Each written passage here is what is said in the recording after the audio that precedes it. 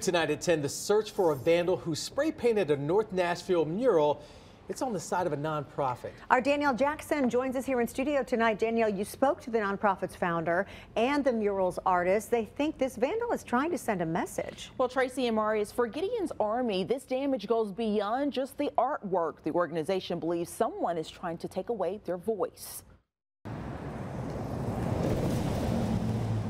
When I pulled up to the building, and saw that the murals had been spray painted, it really took my breath away. Shocked and appalled reaction from Rashida Fetuga, the founder of Gideon's Army. It's a North Nashville nonprofit building restorative justice and youth empowerment programs. Police say before midnight last Tuesday, a man pulled up to the building and spray painted both murals.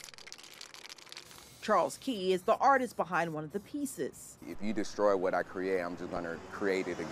Key says many times artists fund murals out of their own pockets. This is a picture of Rashida, uh, the owner of the nonprofit organization, and we kind of just um, went back and did some hieroglyphics and kind of connecting with the black culture from Africa. He says displaying artwork that's reflective of the community is important, and to see it defaced is truly unfortunate. It kind of hit different because normally if you vandalize, you might vandalize the whole thing, but to target just the face, for for me, it seemed like they wanted to erase. They wanted to erase the figure. It is hardened because nobody would do this to the wings in the gulch, I don't believe. Gideon's army is undecided right now if they will move forward with charges. Rashida says it's a decision that will ultimately be up to the youth.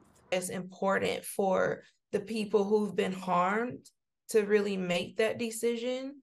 And so we've been having conversations about just how they want to handle it. But what they do know is they won't allow vandals from stopping their mission of bringing positive change in their community. And we will stay through spray paint and vandalism. We will stay through attacks. We will stay when we are blackballed. We will stay through whatever it takes to make sure that our children are safe.